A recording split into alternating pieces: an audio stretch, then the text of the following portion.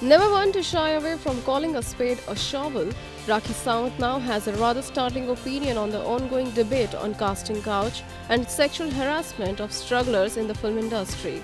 Rakhi admits to being a victim. When I was a struggler, yes, I did face the casting couch, but it wasn't as if every producer or director I approached was guilty. As in every walk of life, there is sexual corruption in the film industry also.